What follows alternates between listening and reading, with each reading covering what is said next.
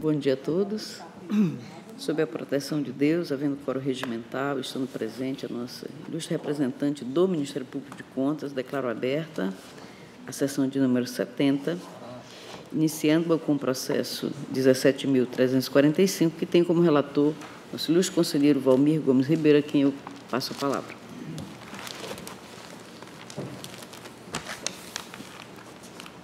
Obrigado, senhora presidente. É o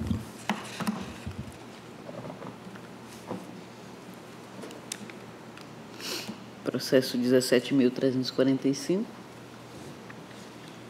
relatório trata o presente processo de pensão especial temporária de Caio Genaro Ferreira de Melo e Cairo Ferreira de Melo, representados por sua genitora, Luzanira Ferreira de Araújo, pela regra prevista nos artigos 258, 2A e 259, parágrafos 1 e 2 da Lei Complementar Estadual número 39 de 93.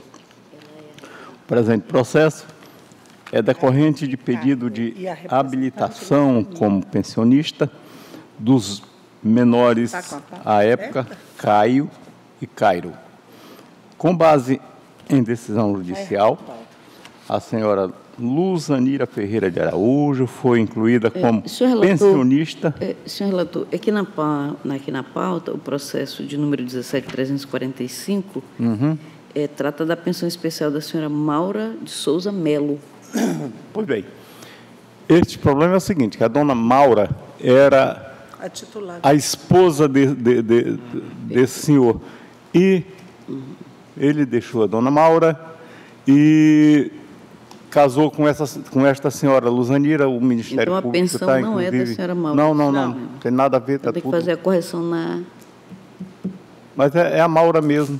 Aí seria a Maura mesmo aqui. Eu acho, tive- que, eu acho que não, porque a da Maura já foi julgada, que aí já tinha o... o, o, o- E aqui na pauta é consta a da pauta dona que Maura. saiu incorreta, É. né? Ou alguma... re- É, para a correção da, Bom. da pauta. Com o julgamento, a gente Sim, consegue entender. vamos fazer a É, correção. Consegue, vai conseguir. Pode prosseguir, entender. senhor relator. É, eu tive vendo hoje lá no, no, no, no- no meu gabinete, inclusive a respeito disso aí, que também me chamou a atenção, e a, a orientação é que realmente esta seria a, a este seria o trâmite, realmente teria que ser seguido, inclusive através dos próprios técnicos e do próprio Ministério Público, foi o que me disseram. Mas prosseguindo, depois a gente vê isso aí, né? Tá. O presente Tá processo errado. É decorrente de pedido de habilitação como pensionista eh, dos menores à época Caio e Cairo, com base em decisão judicial, a senhora, a senhora Luzanira Ferreira de Araújo foi incluída como pensionista em dezembro de 2000 que o que nós vamos julgar é apenas... a folha 100 do processo, representando os menores Caio e Cairo. A análise técnica conclusiva, procedida pela quarta GCE, folha 103/105, apurou que o ato de concessão de pensão preencheu todos os requisitos de admissibilidade e sugeriu a competente, o competente registro e a retificação da autuação dos autos para fazer constar o nome dos beneficiários e da sua representante. Perfeito. Por fim, observa-se que a numeração das folhas do processo não está na conformidade da ordem crescente cronológica. O Ministério Público Especial junto à Corte de Contas se manifestou a folha 125 em pronunciamento da lavra da senhora procuradora, doutora Ana Helena de Azevedo Lima, é o relatório. Obrigada, Excelência. Com a palavra, nosso ilustre representante do MPC. Senhora Presidente, eh, senhores e senhora conselheira, trata-se de processo de pensão especial em favor dos então menores Caio Genário Ferreira de Melo e Cairo Ferreira de Melo, devidamente representados por sua mãe, Luzanira Ferreira de Araújo. A instrução procedida concluiu pela admissibilidade do ato de concessão de pensão, sugerindo o competente registro e a retificação dos autos para fazer constar o nome dos beneficiários e de sua representante. O processo foi encaminhado à MPC em 12 de março de 2019. Inicialmente, sugerimos a retificação da autuação no tocante ao assunto, para fazer constar o nome dos beneficiários e de sua representante. Atenta ao feito, constata-se que já foi reconhecida a legalidade de, da pensão especial concedida em favor da senhora Maura de Souza Melo, esposa do decujo, senhor Francisco Fernandes de Melo, conforme se depreende do Acórdão 1050 a folha 50. Ademais, verifica-se que os interessados preencheram à época os requisitos necessários para a obtenção do benefício, do benefício sendo que os mesmos foram habilitados ao processo de, de pensão especial número 2.357 de 94, receberam a pensão devida. Ante exposto, este MPC opina pelo registro da espécie neste âmbito, ante o reconhecimento de sua legalidade, a teor do disposto no inciso 3 do artigo 61 da Constituição Estadual e após pelo arquivamento dos autos. Obrigada, senhora procuradora. Com a palavra, o conselheiro relator. Obrigado, senhora presidente. Voto. Visto e analisado o presente processo e ainda consubstanciado na análise técnica da 4 GCE, folha 103, barra 105, bem como o douto parecer do Ministério Público Especial junto à Cor de Contas, de folha 125, e em tudo mais que dos autos consta. Concluo votando. Primeiro, pela legalidade e o registro da pensão especial temporária em favor de Caio Genaro, Genário Ferreira de Melo e Cairo Ferreira de Melo, representados por sua genitora Luzanira Ferreira de Araújo, com fundamento no artigo 158, 2A e 259, parágrafos 1 e 2 da Lei Complementar Estadual número 38 de 93, legislação vigente à época. 2. Pela retificação da apuração dos autos para fazer constar o nome dos beneficiários e de sua representante. 3. Pela renumeração das folhas dos autos até a sua ante a sua incorreção. É, após as formalidades de estilo, pelo arquivamento dos autos. Como voto, senhor, senhora presidente, senhores conselheiros? Obrigada, Excelência. Em votação, conselheiro Antônio Malheiro. Acompanho o voto, Excelência. Também acompanho o voto do conselheiro relator e assim decidiu-se por unanimidade nos termos do voto por ele proposto. Na sequência, são quatro processos de aposentadoria que eu irei relatar. Primeiro processo, 123, 185, apreciação da legalidade de registro da concessão de aposentadoria à senhora Adelina Alves Pereira, matrícula 150.991, dígito 1, proventos integrais, do quadro permanente pessoal da Secretaria de Educação do município de Rio Branco.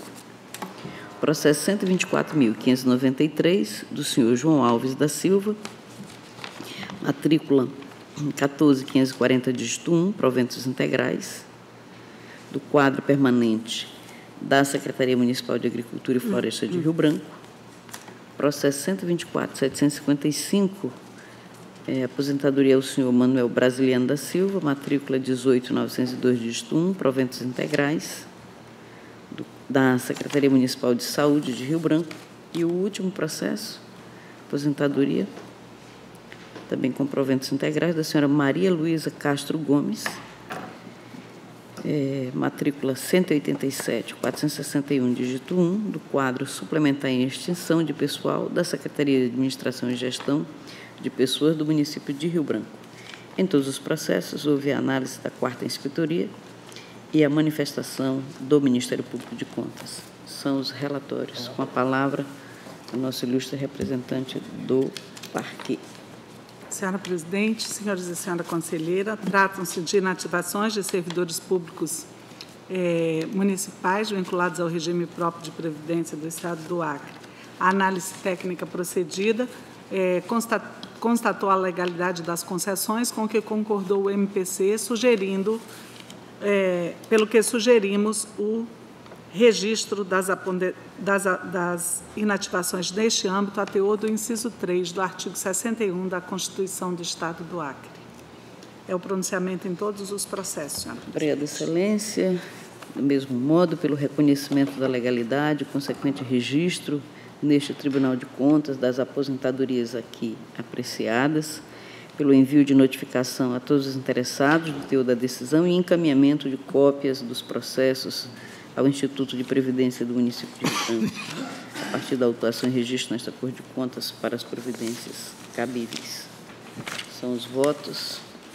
Em votação, conselheiro Valmir Ribeiro. Acompanho o voto da nobre conselheira relatora. Conselheiro Antônio Malheiro. Acompanho o voto, senhora. É, assim decidiu-se por unanimidade nos termos aqui propostos com a palavra agora a conselheira Maria de Jesus, com o processo 124.361. Processo Obrigada, eletrônico. senhora presidente. Eu gostaria de, de relatar os três processos juntos.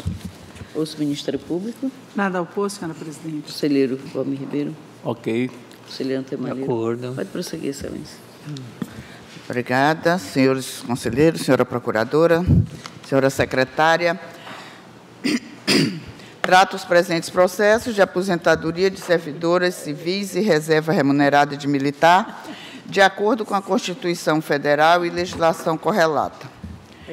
Foram realizadas as devidas análises técnicas pela 4 GCE, as servidoras preenchem os requisitos para os benefícios, os atos de concessão foram publicados no Diário Oficial do Estado, as aposentadorias ocorreram com as servidoras devidamente enquadradas, os proventos mensais correspondem ao valor devido e o Ministério Público de Contas se manifestou em todos os processos. É o relatório, Excelência. Doutora, com a palavra, nosso ilustre representante do MPC. Senhoras e senhores, é, tratam-se de inativações de servidores públicos civis e um militar vinculado ao regime próprio, é, vinculado aos, aos regimes próprios é, ao regime próprio de previdência. Eu acredito que todos do estado do Acre, deixa eu dar uma olhada aqui no 124, para mim também é os três últimos aqui. É, só o último que é da Previdência. É, é não, o 124, não. 126. 126. É um, um militar. Eu só quero saber se é do, do, do, do Oito. Aqui que está misturado. RBPrev. É. É, só tem um que é do, do, do, do, do Previdência. Do, do Previdência. Isso. Os outros são do RBPrev. É, RBPrev. Uhum. Então, dois do, do regime próprio de previdência do município de Rio Branco e um do regime próprio de previdência do Estado do Acre. A análise técnica procedida eh, verificou a legalidade das inativações com que concordou o Ministério Público Especial. Antes exposto, sugerimos ao competente registro eh, dos atos neste âmbito a teor do inciso 3 do artigo 61 da Constituição do Estado do Acre. É o pronunciamento, senhora presidente, em todos Excelência, com a palavra, conselheira relatora. Obrigada, senhora presidente. Proposta de voto. Do exame realizado, conclui-se que os atos concessivos foram expedidos por autoridade competente em favor das servidoras legalmente habilitadas ao benefício, estando correta a fundamentação, a comprovação da idade, do tempo de serviço e ou de contribuição e o cálculo dos proventos. Ante o exposto, proponho que esta Câmara considere legal os atos de aposentadoria das servidoras Tereza Rufino Areal e Maria de Nazaré da Silva Barbosa e o ato de transferência para a reserva remunerada da militar Maria do Socorro Dias da Fonseca de Souza, concedendo-lhes o competente registro. Encaminhe cópia dos processos aos respectivos institutos de previdência para as devidas providências, notifique as servidoras para tomarem conhecimento desta decisão e, após a formalidade de estilo, pelo arquivamento dos autos. É a minha proposta de voto, excelência. Obrigada, excelência. Em votação, conselheiro Valmir. Acompanho a proposta de voto na íntegra, senhora presidente. Conselheiro Antônio Malheiro. Da mesma forma, acompanho o voto, excelência. Da mesma forma, também, assim decidiu-se por unanimidade nos termos das propostas feitas pela nobre conselheira relatora. Não havendo mais processos a serem julgados e nem havendo expedientes a serem lidos, passo agora às comunicações com a palavra nosso ilustre representante do MPC. Apenas desejar um bom dia a todos os presentes, senhora presidente. Conselheiro Valmir. Senhora presidente, só agradecer a presença de todos no pleno, agradecer os nobres conselheiros, ao Ministério Público de Contas e desejar a todos uma semana feliz. Conselheiro Antônio Malheiro. Da mesma forma, excelência, cumprimentar todos os presentes, nada mais a comunicar. Também agradeço a todos e queria também re deixar registrado aqui na nossa sessão um feliz Dia das Mães né, a todas as mulheres, né, guerreiras, mães do nosso Estado, do nosso país. Agradecer a participação de todos aqueles que nos ajudam a fazer possível e de maneira correta essa sessão. E não havendo é, nada mais a tratar, encerro a sessão para os procedimentos de estilo, convocando outra para dia e hora regimental.